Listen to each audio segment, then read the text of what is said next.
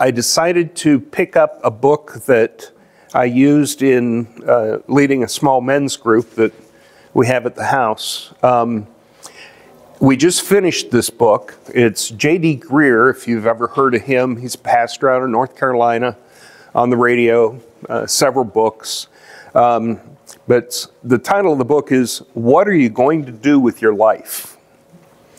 And um, some of the chapters get a little pushy, uh, toe stomping.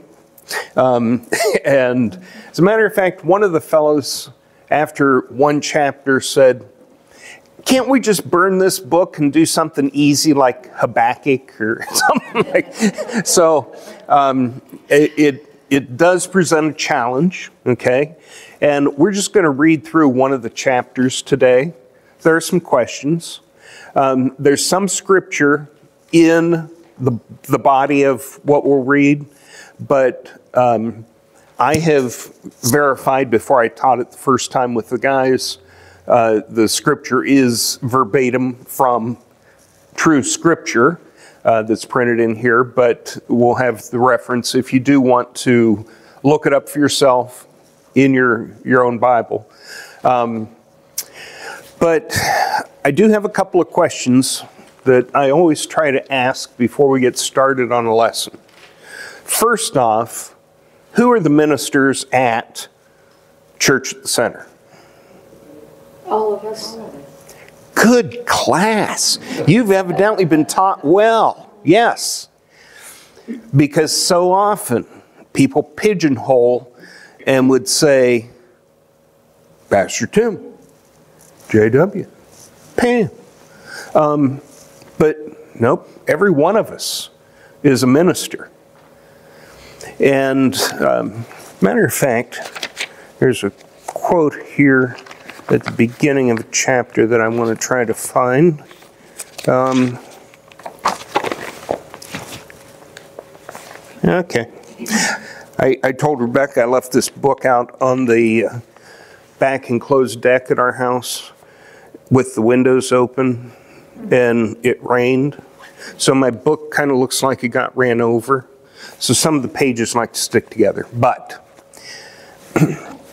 there's a fellow named Carl Henry that uh, made this statement, and the truth is just so real. The gospel is only good news if it gets there in time. Isn't that powerful? So, we talked about who we are. We're ministers, okay? But why do we study? I'm looking for two particular things. Why should we study? The Bible says to be approved. To be approved. Okay. Um, uh, expand on that just a little bit. Timothy, he tells Timothy. Mm-hmm. So that you will know the. There we go. So that we'll know the truth. Mm-hmm. Exactly. Barb? We can't stop reading because it has different meanings to us as we mature into this faith. Oh, how true. Mm-hmm. Mm-hmm. I read that passage 10 times and it didn't mean that then. yep. Because it adapts to our life. Nancy? My, in Hosea, I believe, says, My people will perish without knowledge. Mm-hmm. How true. Okay, so we know we study to increase our understanding. There's one other thought that I'm looking for. Matthew 24, Jesus tells us to share his word. Exactly. And Mhm. we can't share it if we don't know it. Exactly. We study so that we know what's going on, and we study so that when coincidences happen where somebody comes up to us or we meet somebody that's going through a difficult time, we'll be able to share the good news. Because the gospel is only good news if it gets there on time, right? So, um, with that kind of as our, our basis, okay? I'm, I'm just going to read. Now, again, anybody who wants to uh, stop me, ask a question, make a comment, do so. That's all right. I'm trying to do this without my glasses. Mhm. it's not the critic that counts. The credit belongs to the man who's actually in the arena, whose face is marred by dust and sweat and blood, who strives valiantly, who errs, who comes short again and again, who spends himself for a worthy cause, who, at the best, knows in the end the triumph of high achievement, and who, at the worst, if he fails, at least fails daring greatly, so that his place shall never be with those cold and timid souls who neither know victory nor defeat. In other words, those who did nothing. Uh, that's by Theodore Roosevelt. Have you ever seen cardboard ministries? Basically, to a backdrop of a worship song, usually, people walk across the stage holding a piece of cardboard. On one side is a one sentence description of their life before Christ, something like broken and alone, in bondage to the opinions of others, a self hater. But after a moment, they flip their cardboard over, revealing a one sentence description of their life after Christ. Rescued and recommissioned, set free, beloved daughter. The best one I've ever seen was a woman whose front side read, diagnosed with stage four breast cancer. She was joined by an older man on stage who held up his sign, doctor who diagnosed her, an atheist. Then he flipped over his sign, which read, Through her joy in this suffering, I came to know Christ. Then she flipped her sign over, and it just said, Worth it. I really want to be able to say those words at the end of my life.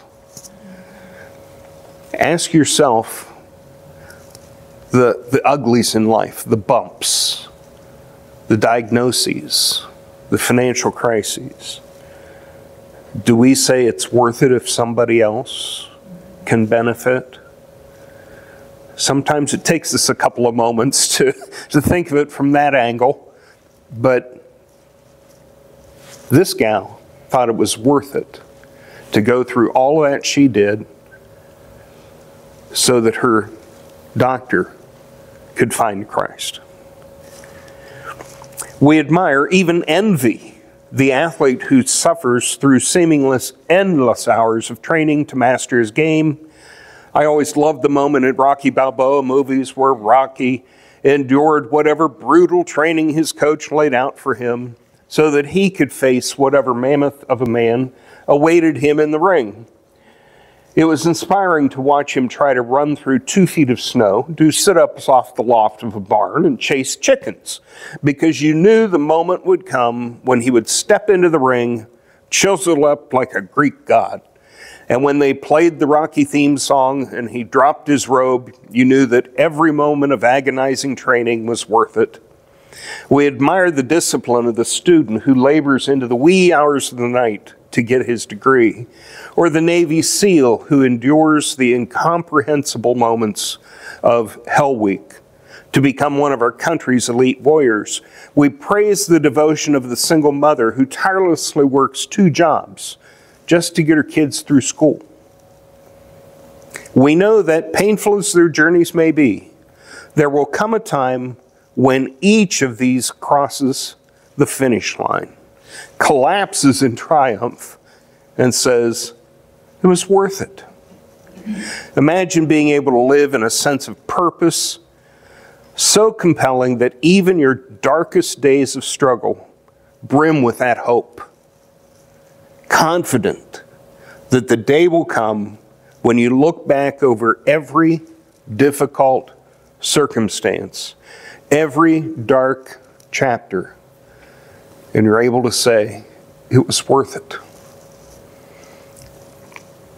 There's a young mother in his church, J.D. Greear's, whom I'll call Kristen. who last year went in for a routine eye exam when she received devastating news. The doctor told her that she had developed a degenerative and incurable condition that would take her sight in less than five years. She had no idea anything was even wrong. Kristen's in her mid 30s. She has four children, two biological and two adopted. If things go as the doctors predict, she'll never see them graduate. Just a couple of weeks before the doctor visit, Kristen had asked God to guide her to a theme verse for the year. God had led her to 2 Corinthians 4 16 through 18. Therefore, do not give up.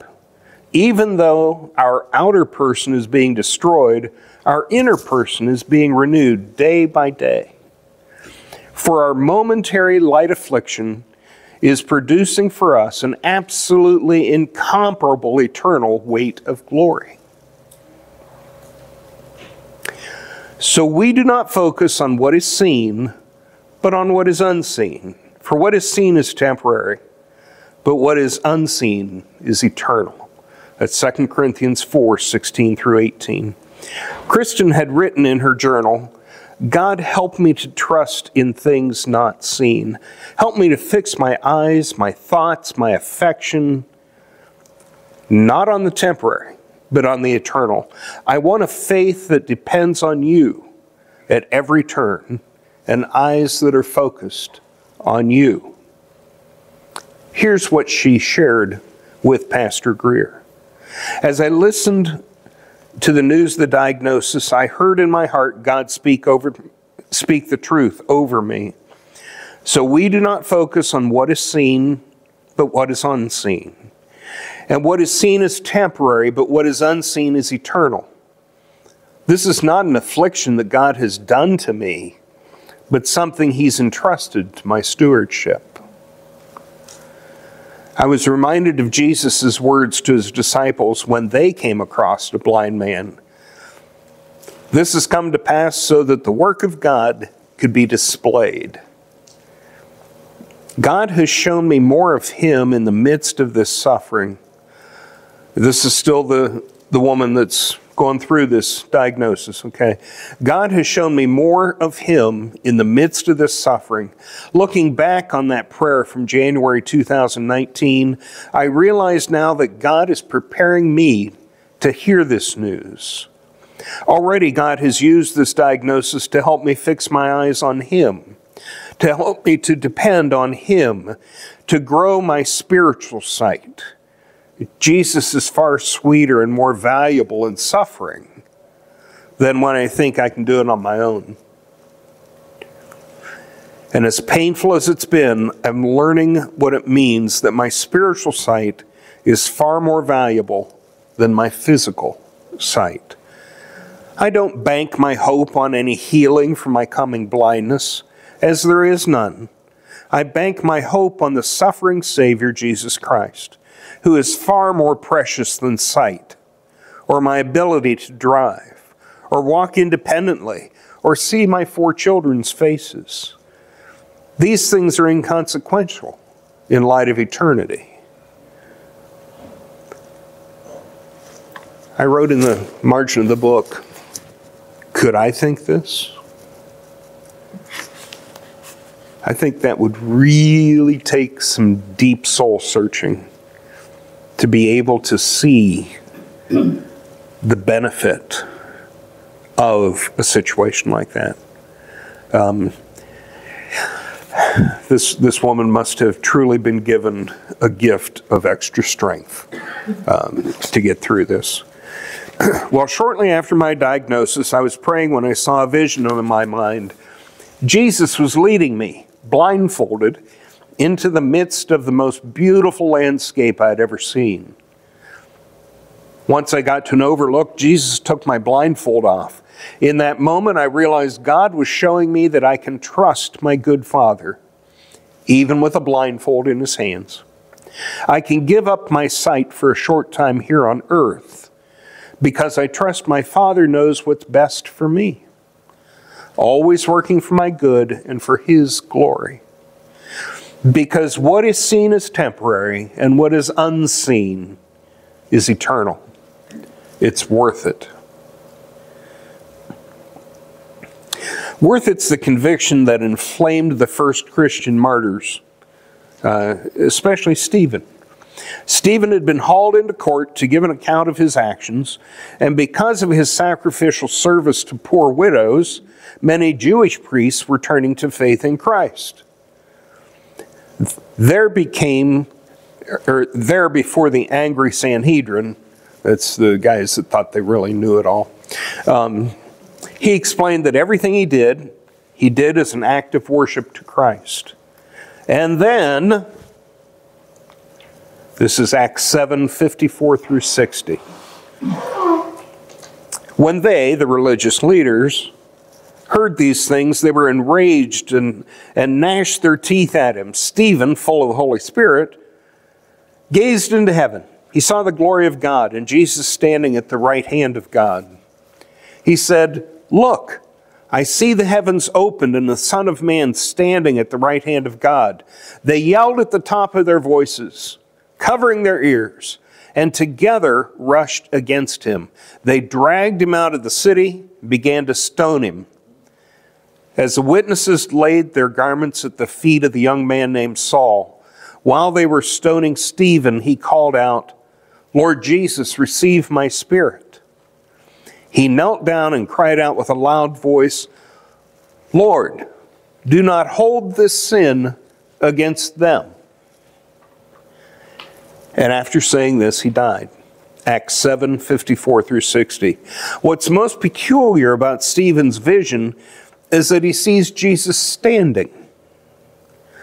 Everywhere else you see Jesus is at the right hand of God, he is sitting. It's actually an important theological symbol.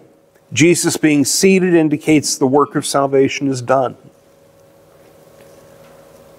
I just lost my place. I probably should put my glasses on, but that'd really be pushing it. Okay. There we go. So, why would Jesus be there standing? I think there's only one possible explanation. He's standing to honor his son and receive him home. The world just labeled Stephen a traitor, and they're throwing baseball sized stones at him to prove it. Jesus, it's almost like he can't help it, stands to his feet and says, No, he's my son. They jeered. Your life's a waste. And Jesus responded, well done, good and faithful servant. And Stephen, face beaming with angelic brightness, felt one overpowering conviction rise up in his heart. It was worth it.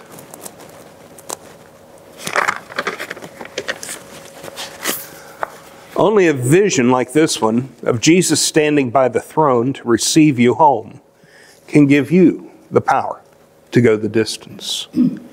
Sometimes in church, we talk about Jesus as the missing piece in our lives, our guide, our help in time of trouble, and He is all of those things.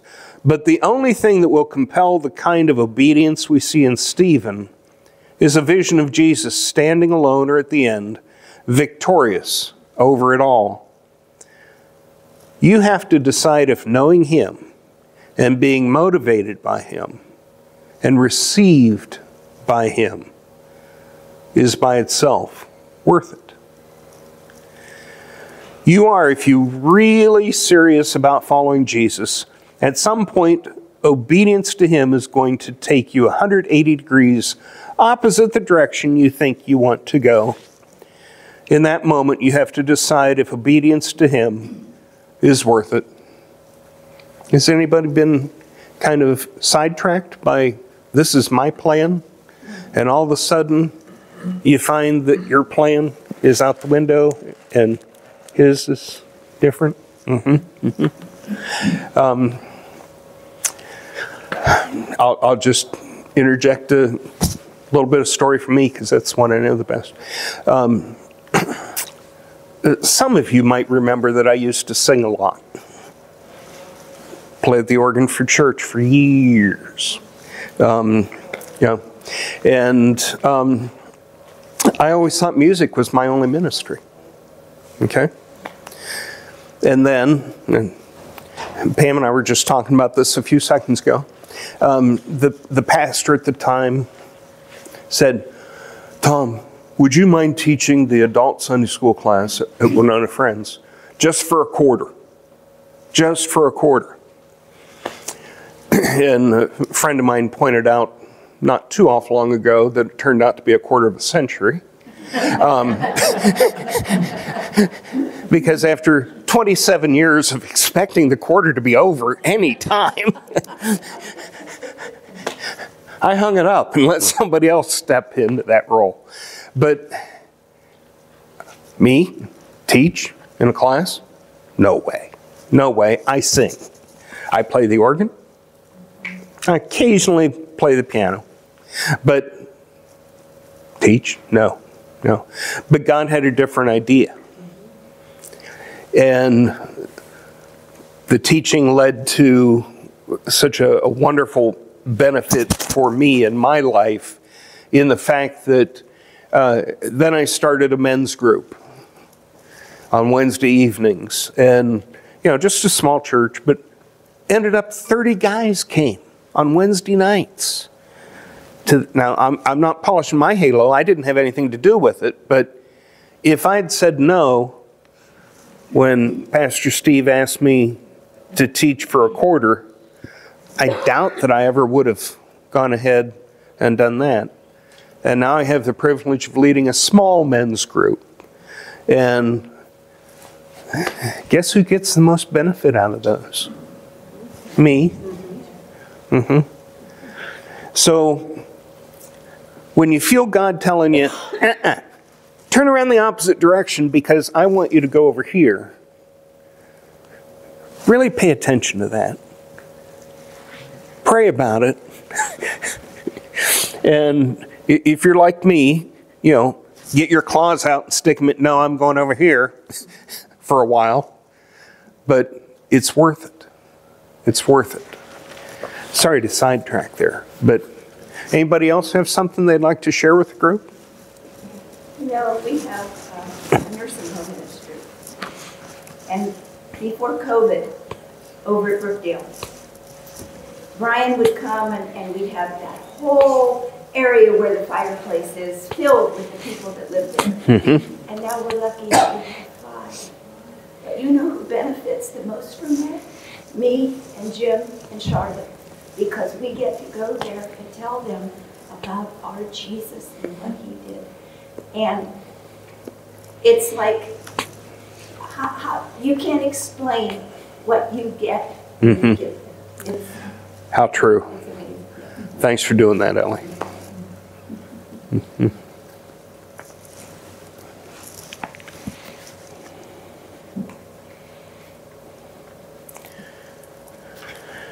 So, who's going to be waiting around the throne to receive you home? Our families are precious, our friends are a blessing, our dreams are important, but none of those things will be waiting for us around the throne, and thus none are worthy of the offering of our lives. Only Jesus is. Now, that doesn't mean we won't see those folks or their spirits intermix with ours. We, we don't have a direct answer of how that all happens. But our prim- primary benefit of eternal life in heaven with Him is with Him. Jesus will be there to greet us. Claire was a young woman who moved to a remote part of Central Asia to work alongside one of our mission teams there. And for five years, she served the poorest of the poor. Better look at the time here. Okay. Late one night in January 2008, Claire was kidnapped by Muslim extremists. They perceived her presence there as a threat. She brought education to women who they believed should not learn skills outside the home.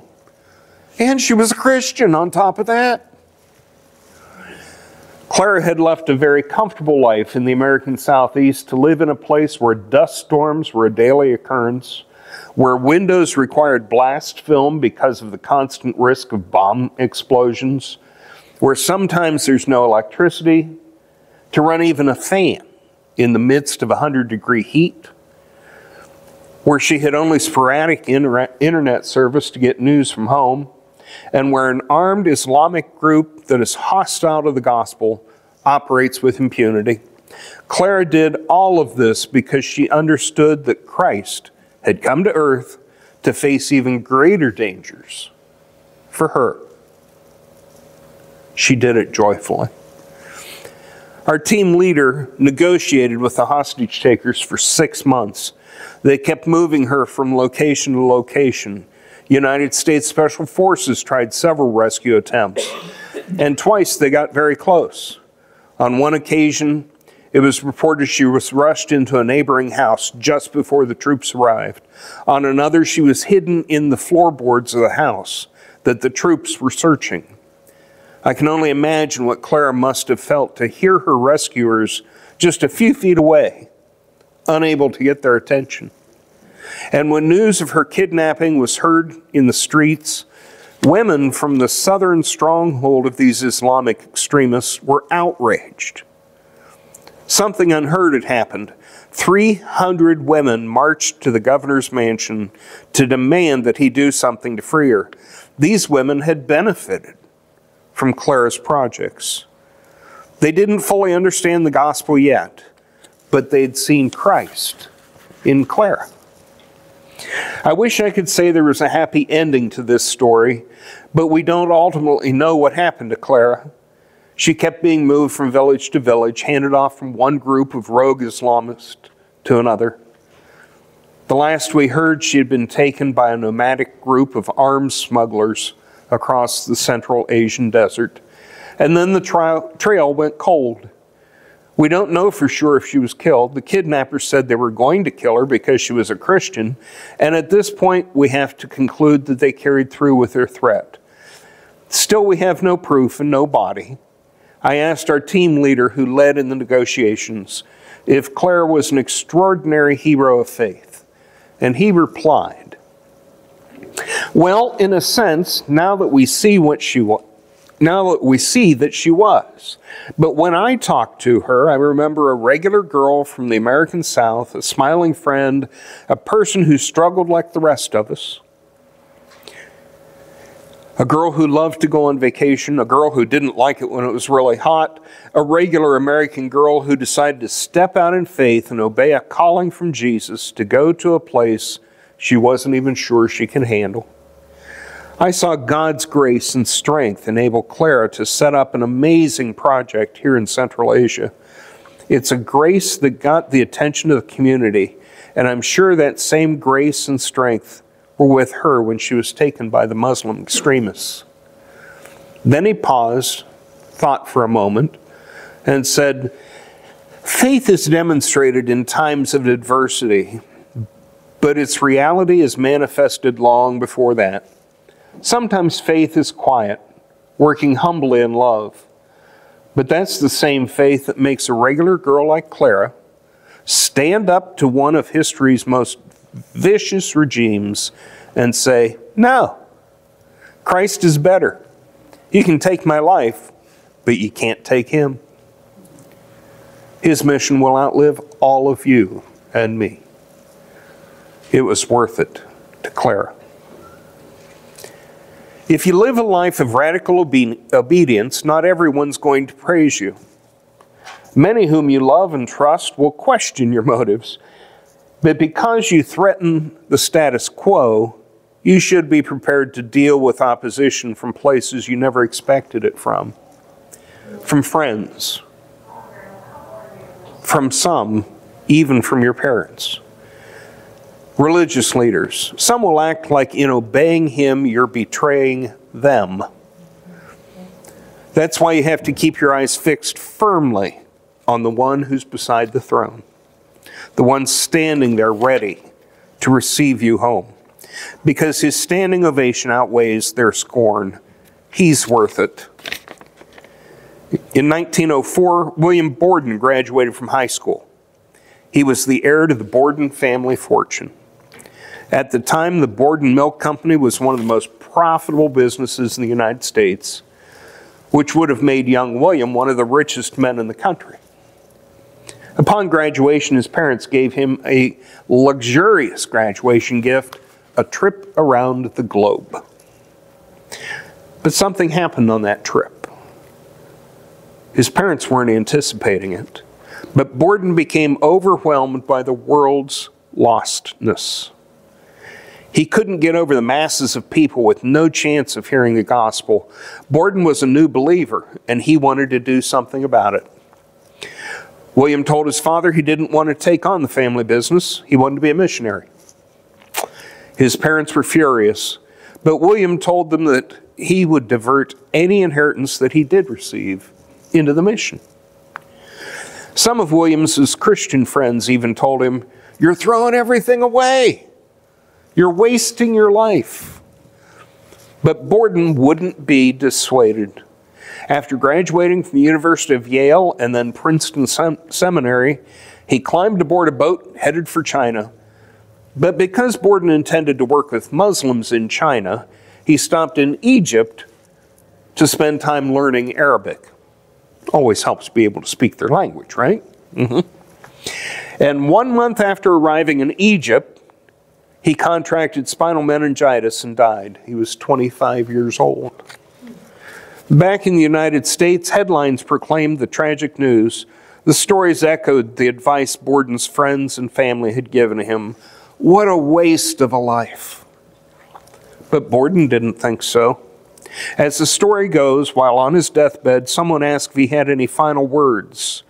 He pulled out his Bible, turned to a blank page at the back, and wrote, No regrets. From the perspective of the world, Borden's life was wasted. From the perspective of eternity, it wasn't. His was not a wasted life, but a worthy one.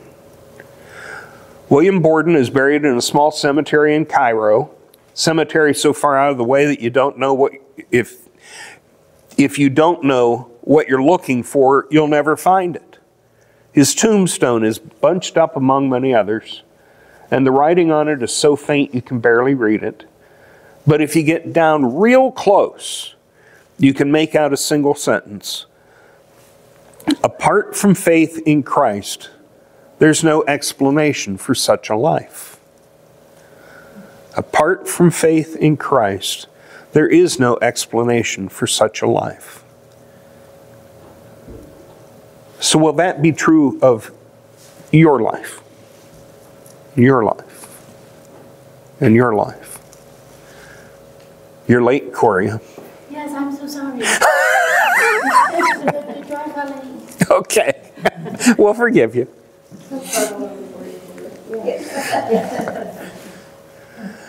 What are you going to do with your life? Are you going to use it in a way that only makes sense if eternity is real and the gospel is true?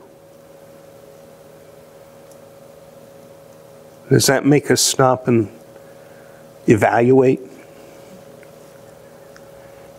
We have to make up our minds. If Christ is risen, then nothing invested into his kingdom is ever wasted.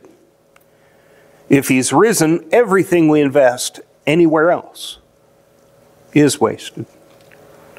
Do you believe this?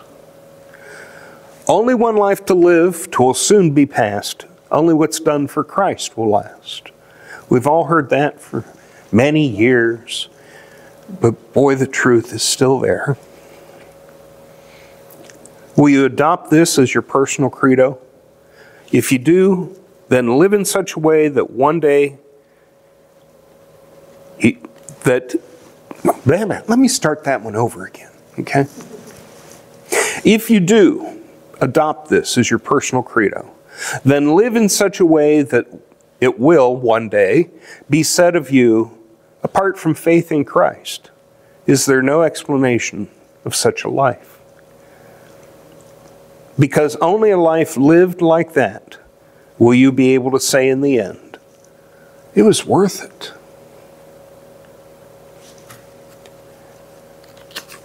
Any thoughts?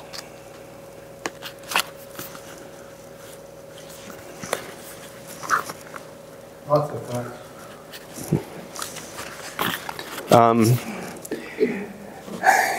So, true or false? When we start taking our Social Security, our work is done. False. False? False, okay. Just beginning. Just, thanks, Bob. But true, true. Our, you know, my, my dear wife, right there behind Bob, because I'm, I'm just in that stage, I sold the business and all that sort of stuff, so I'm retired, so I'm only working one day a week, and, um, you know, I'll do tax season, but, um, yeah, my dear wife has always said to me, Tom, the word retirement is not in Scripture. Thank you, dear. Thank you, dear. Yes, yes. Uh-huh. And in reality, sometimes these are the days when maybe we have a little more time, a little more freedom. Not that if we are still in the workforce, people should still know by our actions, our faith, our love, that there's something different about us. Okay? But I, okay, I'll fess up. I always said during that one quarter that I was teaching Sunday school, um, Lord, whatever you want me to do, except I don't want to go to Zimbabwe.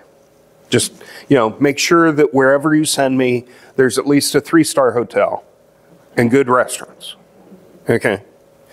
Um, and fast forward, um, I, I had stepped in as associate pastor at Winona Friends for a while just because we needed somebody and I was still running my business, etc. Well, then it got to the point we had to hire a full time fella, and Dan Hepner came, wonderful, exactly the person that God wanted in that spot. And wouldn't you know it, his father leads a ministry in Zimbabwe. and he wants Dan to take over. And Dan wants me to go to Zimbabwe with him. And I'm thinking, Lord, this is really not humorous. You know, this is. we'll, we'll leave that in God's hands. But um, point is, we never quite know what God might have in store. For you, for you, for me. Rebecca's a little on the questionable side. You know, we, we don't know what he's got planned. That is true, Um, and I, and I was gonna say to that, sometimes when I get really, really tired of what I'm doing, I have to remind myself, and I'm speaking of the children's ministry, and I love the children dearly, but when I get exhausted in my own flesh, I, I look at one lady in particular that volunteers one time a month, and a lot of you know her. She's in her 90s. Her name is Laurel Todd. Laurel Todd is epic, is she Yes, not? yes, She is. yes. She is going to be one of those people where God will be, the Lord will be standing when she enters heaven. Mm-hmm. She is going to be one of those people. So when I get frustrated or I get tired or I get grumpy or I just get plain whiny, right? Mhm. I think of Laurel and I'm like, dang, that woman comes in once a month. And I said, You want to sit down? Do you want a chair? And she's like a hummingbird. Uh-huh. She does not sit down. Aaron Todd's grandma. She doesn't sit down. She is unbelievable. So she is like my, my hero on earth Uh-huh. with children. With children. Yep. But then I realized I'm not doing it for anybody that's here. I'm doing it for Jesus. I'm doing it Mm-hmm. Yes. for him. Yes. So I need to get over myself once in a while, right? Mm-hmm. And just move forward with my quarter. But what a wonderful example of reality Rebecca just gave us, okay? Because even when we know God's called us to do something, sometimes we as humans grumble and fight. Mm-hmm. Like, I don't want to do this. I'm tired. Mm-hmm. but I want to do this instead. Lord, please, I really don't want to go to Zimbabwe. But we'll, Did you ever go? no, no, no. Not yet, Ellie. Not yet. You're not done yet, baby. Your quarter's not done. No, evidently not. So, any other thoughts before we close up? Well, again, um, I, I hope we could gather something small out of this, this time together. It's not the study that I know Pastor Tim gives you and that uh, Pastor Chris had always given, but um, we, uh, we just need, a, or I need a reminder sometimes of the fact that Tom's not in control, even though I'd really like to be sometimes. Pam will vouch for that. But Or you think she? I refuse to answer that question, Ellie. I plead the fifth, okay? After 44 years, I want to make it to 45, okay? That's- Uh-oh. Uh-oh. Rebecca's in trouble. Oh, okay. Well, we're going to close in prayer after. Close, Yes. that, that book that you're using, awesome book. Yeah, you talked- yeah, what- Yes, it, it truly is. Um, Is it still in print? yes, yeah. Uh, what are you going to do with your life? J.D. Greear, J.D. Greear. That's G R E E A R. How G R E E A R. Okay. Uh, Christian Book Distributors has it. I would imagine Amazon has it. Um, but, um, you you know, wear your seal toed shoes when, when you're reading the rest of the book. Okay. But it's definitely well worth. Yeah, it wasn't expensive. It, it's just a, Just don't put it in the rain.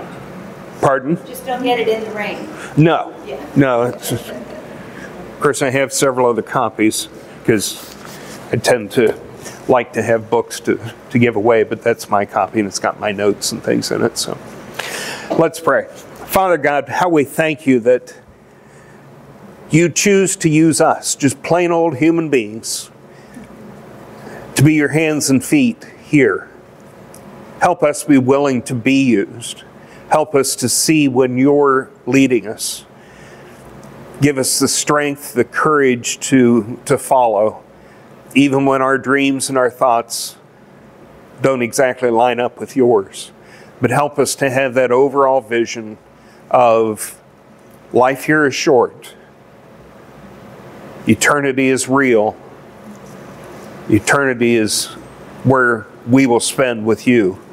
And we want, Father, to, to bring people with us. We want to share the gospel in a timely manner with those around us so that they can join us when eternity comes. Thank you again for your love. Uh, pray for Pastor Tim as he flies home. Uh, pray, Father, that you would just uh, go before us for the, the balance of the service that's going to start here soon.